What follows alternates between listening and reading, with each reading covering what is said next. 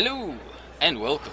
I'm Zeinder, and this is the second quest in the uh, well, the level five quest, I should say. Because technically we've already done three quests, but the level five quest of the rogue setup, I have gotten to level ten because why not? This will probably down level me unless it has me kill something out in the world. Anyhow, Jack appears eager to give you your first assignment.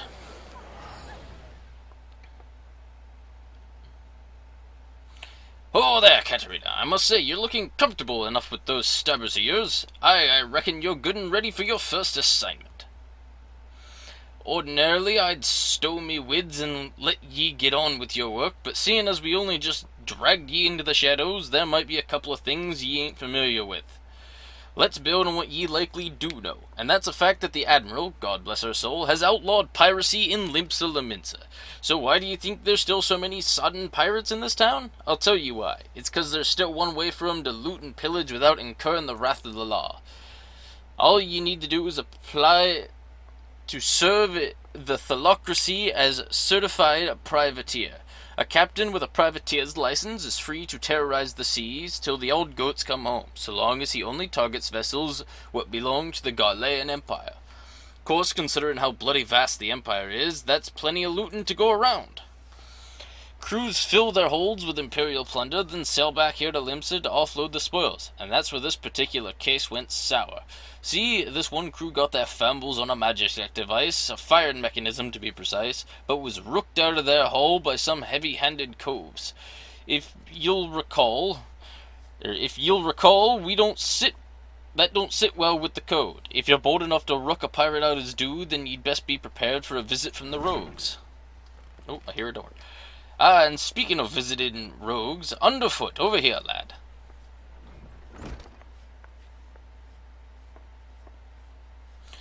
I want the pair, pair you, uh, the pair of ye working on together on this. Pass sentence on them code defying rooks and bite back that Magitech part. Eh? What's the last need me for? You're in charge of new recruits, ain't ye? It's Katarina's first assignment. You're to go along and give her the benefit of your wisdom. Since when was I in charge of, oh, of charge of, charge of new, ah, bugger it. Ugh. Uh, so I guess we're about to be partners for the now. The name's Paramu Haramu, but most of me fellows call me Underfoot. He might seem a touch reluctant, but Paramu's one of our best. You do just as he says, and you'll get the job done. Everybody has the same voice, apparently. Quest accepted. So, where do I be thieving? Oh, I have to talk to him first. Uh, on the chair. Alright then, me young rogue, seeing as this is your first official outing, I want to be sure your dance steps are up to the task. Them short blades, you need to get good and close to your mark, eh? Eh? Or I? I guess it would be I in this case, because it's sort of a pirate town. I. But we ain't bleeding swads in shining armor, and the light of the kit we wear ain't much protection from a clip to the gan. So if you don't, if you don't fancy spilling blood and teeth, your best defense is probably not being there when your mark one's up to land a nasty clout. No shit. Sliding around the flank usually does the trick, but there's some rum fun every rogue should master, the perfect dodge. Clear your mind and trust in your speed, and you can leave an axe-wielding brute hitting not but air while you bury your stabbers in his guts. Right now, it's time to put this lesson into practice against some of those aurelia out in low and I hope you pay attention. Okay, I already poked some of those to death earlier. I went back and killed them because they were part of my hunting log, so I was using them while leveling up. Why am I so confused?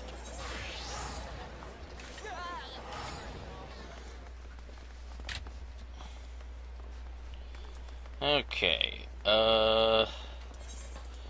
Now. Oh. Nah. I feel like I'm. Eastern? No.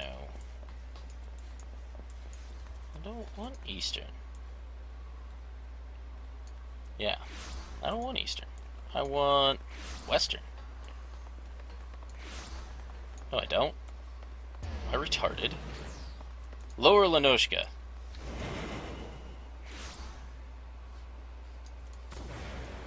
Mm, there. I was trying to figure out whether or not it would be better off teleporting, but that's clearly not the case. Tell you what I do now. Reading quest text like that is very hard on the throat. Also, I bought some gear from a vendor when I was doing some levequests to level up, and I had some metallic gold down my inventory, so I said, screw it! I don't know what this looks like, and I don't really care about wasting it. So, I look funky. It's actually kind of disappointing because, well, I can convert that, but I can't cast Glamour of things above my level, so which means that, well, the good news is, is the one of my favorite pieces of armor in this game is actually only like a level 15 piece of armor.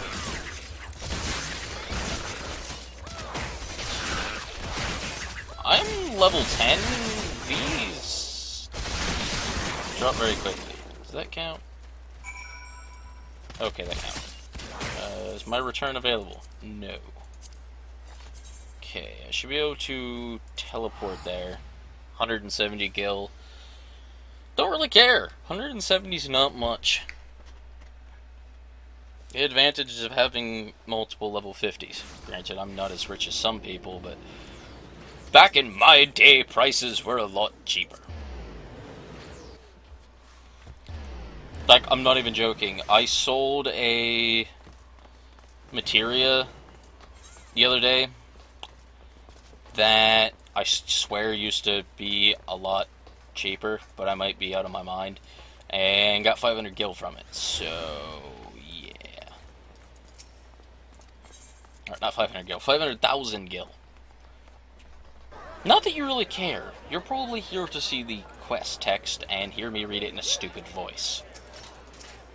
But occupying time it takes to do things with random nonsense. Da, da, da, I just realized something. I wasn't reading this. Oh well. It was about killing jellyfish, probably. I'm not setting you up for a laugh, lass. Trust me. I know I really want to hear the rest of it. Crap.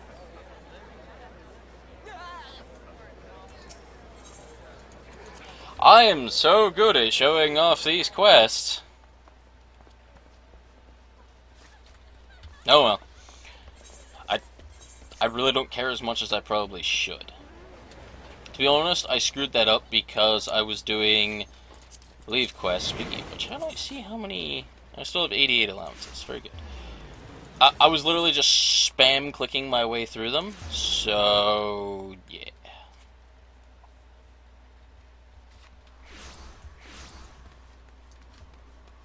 I'm assuming that guy enchantment by Rogue might be a little rough before level 10, it seems like it's impossible to really take on two mobs at once without getting destroyed. Like, I actually used some of my high potions. Thought that I was really going to use them for anything else anyhow, so, meh. Welcome to the Drowning Wench! What's your pleasure, miss? Uh, chilled. Certainly, miss. Take a seat and I'll bring it straight to your... Hmm, changed your mind? Oh, that was one of the things I probably missed. Uh, da, da, da. Uh, da, da, da. Oh. After explaining that the first step is limiting the divide of the code on uh, a weak ale.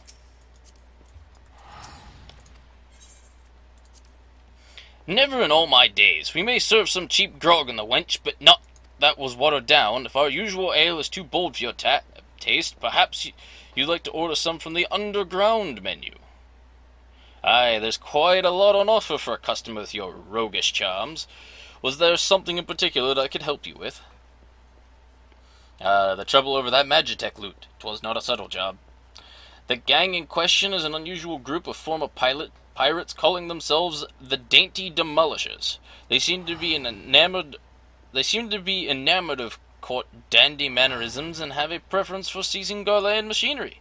They're also known for conspiring with goblins. Rumors say that demolishers visit a beastman camp in Middle La Noscea to fence their goods, and the goods generally take the form of Imperial technology. I imagine the goblins were rather pleased to take possession of a Mach XL3 anti-aircraft cannon firing mechanism. If you mean to steal the device back, then all your then your trail leads to the goblin camp in Summerford. Summerford, eh? On your way, lass. Meet me across the river from the camp and we'll plan our next move. That's Paramu standing right there. Oh, oh, oh, okay.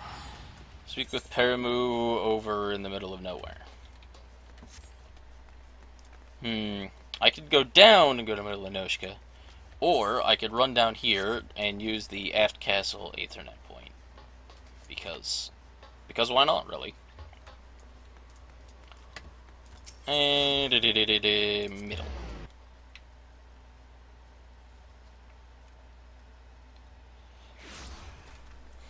Okay. Oh. That's closer than I was expecting to run.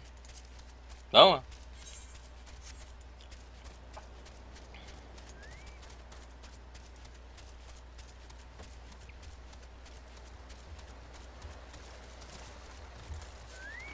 Uh, hunting log things. I should probably kill them while I'm here, because hunting log.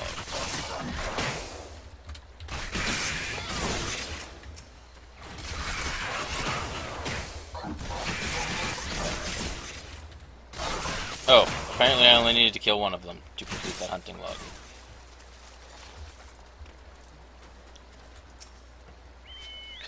Get your noggin down, Katarina. I've been snilching the action across the way there. No sign of the demolishers, but I did see one of them gambler cubs stuffing the Garlean gadget into his backpack. I knew a tall one would steer us all right. This is your chance, lass. Clout that gambler Garby and grabble that device. Eh, I've lost track of which gob it was, but I'm thinking it's that salt on the left. Just make sure you dance away from any bomb blasts. Twisting and dodging in the middle of a fireball ain't exactly effective.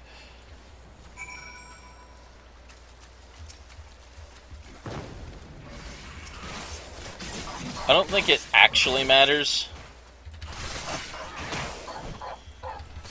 I have new ability, Mutilate, but on stuff like this, it's almost pointless because it's damage over time.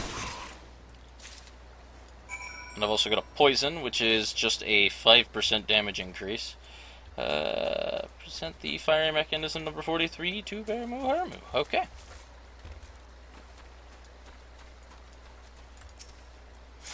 That's the way, lass. There was not for me to do but sit on me daddles and watch. So you got the goods then. There we go. Ooh. Cut ish scene. Aye, this is the device, ain't no mistaken.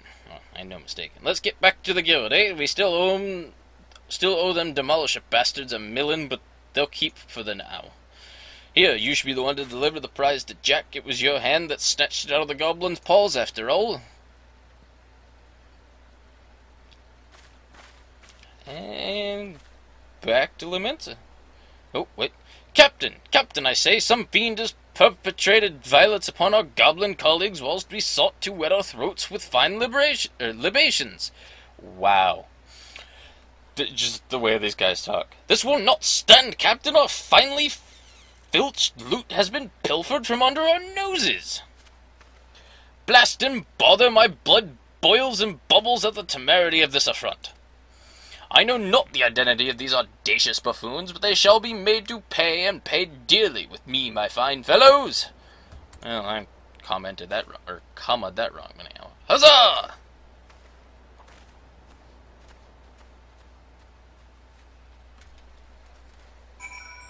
Okay. I shall return to the lower decks. as I figured, the average length of these quests, at least the earlier ones, are more of about 15 minutes, although that could have been extended by a few minutes if I hadn't have intentionally over-leveled the quest. But that's partly because while I am doing these videos on the quests, one of my primary goals is to level as fast as possible.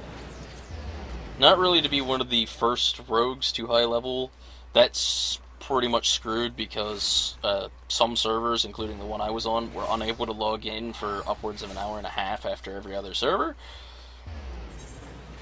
But mostly because I want to get to high level content and start getting geared.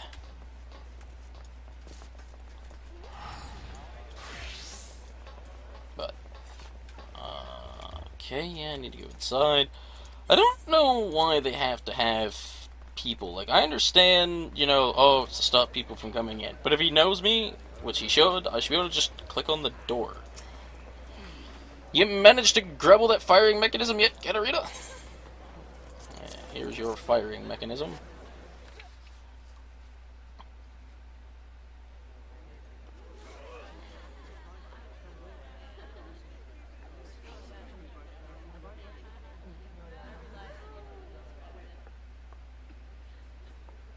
Ah, still in one piece, too.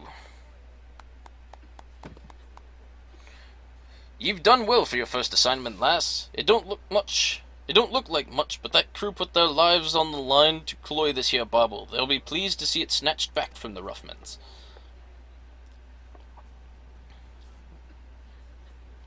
We've yet to do for the dainty demolishers, Jack. This job ain't over. You're right, Underfoot. It ain't. You break the code, you face the consequences. Oh, this is not what I expected from the inside of a convent.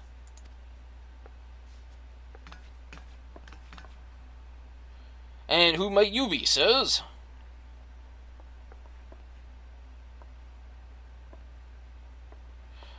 Ah, uh, your ignorance is understandable. After all, our schemes are always perfect, our heists impeccable. Shall I reveal our infamous name and drink in your delicious terror? We are deadly, dastardly, and dictionally devilish. Quail before the dainty demolishers.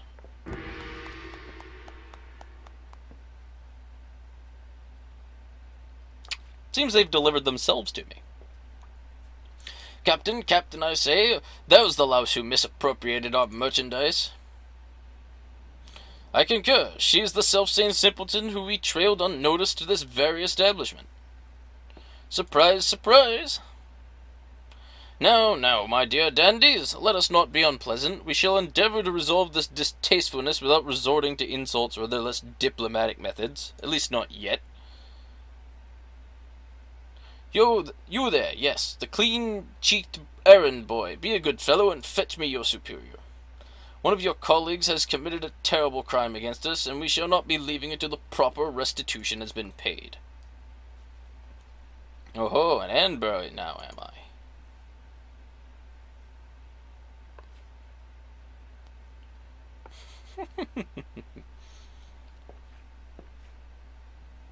Tell me, Captain, just wonder what kind of place do you think this is, then?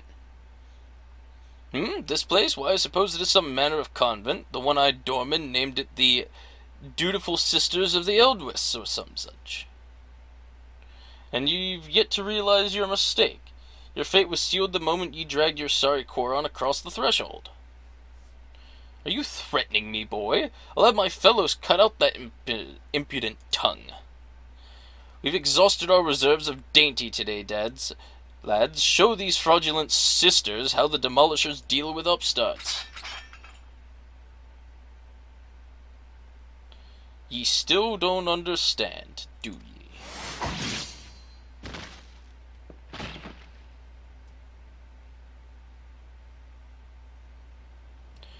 There are but three sorts of calls what the doorman let pass. Clients, recruits, God spit! I'll kill you all!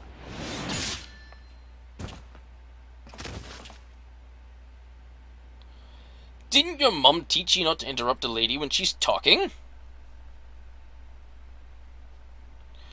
Ye'd have learned that the third sort of call is a bollocks for brains mark that marches himself right into the rogue's den.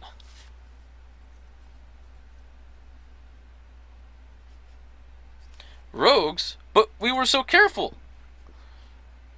I heard ye tales in Pirates' Day, stories about the merciless wraiths who uphold the code. They were, weren't called rogues back then, though. The uptight, upright thieves they were, the knives in the shadows. You can't be them. You're just trying to scare me. Well, the captain of the dainty demolishers is not so easily cowed. To the hells with your deceptions. Huzzah! Huzzah for my fallen comrades.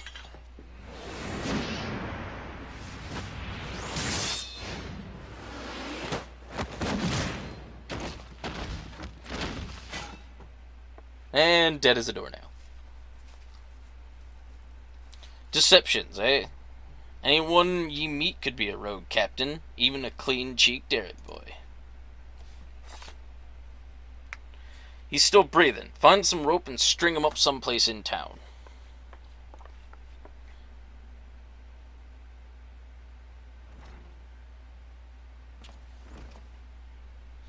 And now the job's done. Quite an introduction ye had there, eh? Welcome to Limsa ever churning underbelly, where the thieves shed their skins and became rogues. That explains why they didn't call them thieves. Because they don't really steal so much as they. It's not really stealing, if you think about it. I'm not much for discussing the old days, but since it's come up, I might as well clear up the confusion. It was back when piracy was at its peak. The coves, what protected the code, were dimber dambers, the best lads and lasses to be had from among the pirate crews. They bit back the goods, what was wrongly bitten, and came for the guilty under cover of darkmans. Upright thief became the title for these coves, what dealt in sanctioned stealing and milling. But it was only those as had cut all ties with the buccaneer's life that was accepted into the ranks, conflicting loyalties and all that. They formed their own guild and even their own way of speaking, and what was once pirates was pirates no more. Later on, when Merlwyb took the Admiral's chair, the upright thieves agreed to abide by her laws. We became the Rogues Guild to mark the change and altering altered our recruiting policy to accept ventures like yourself. But although the title is different, the job remains the same. Uphold the code and preserve the underground society what spawned us. Just as you've done with this assignment. Keep up the good work, Katarina, and you'll go far in the shadows. And I want the custom-made tunic. Because I do.